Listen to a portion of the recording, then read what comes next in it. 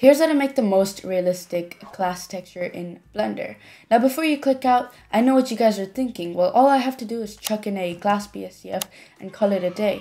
Well, yes and no. While the glass BSDF will give you a glass texture, it's not the most true to life and realistic texture. So hear me out. Here's how you can create the most realistic glass texture in Blender.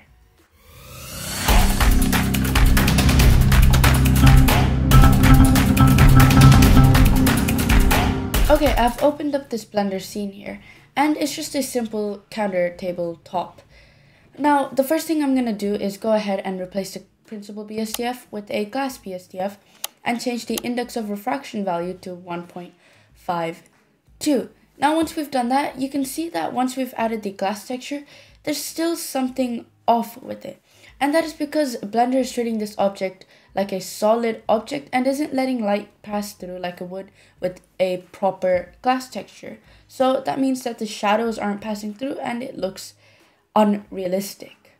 Well, to combat this, we can easily add a transparent BSDF in the place of the glass BSDF. And as you can see, it's letting the shadows pass through now, but it's also making it look like there's nothing there. Well, here's how you can fix that. To do that, we're gonna mix both of these shaders together using a mix shader node. Okay, now that we've done that, we need to find a perfect value in between these two nodes.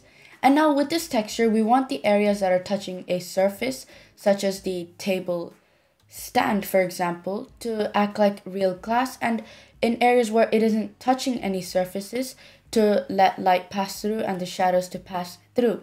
We can simply do that using a light path node and using the shadow ray part as the factor for both of these nodes. Okay, we're almost done now. The last part is, well, an optional part.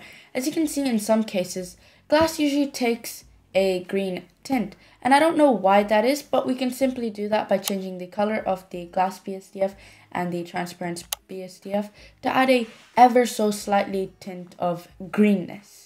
And well, that was it for this tutorial. We've learned how to take a normal glass BSDF and we'll make it look as realistic and true to life as possible.